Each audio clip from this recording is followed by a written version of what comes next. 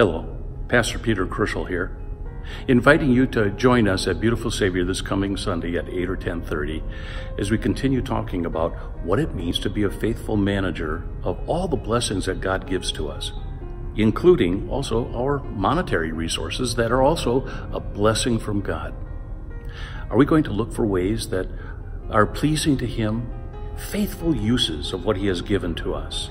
Or are we going to allow our, our hearts to overwhelm us in thinking that we can use whatever we have in ways that are only pleasing to us and fulfill our needs? Well, it really is a matter of our heart and our mind.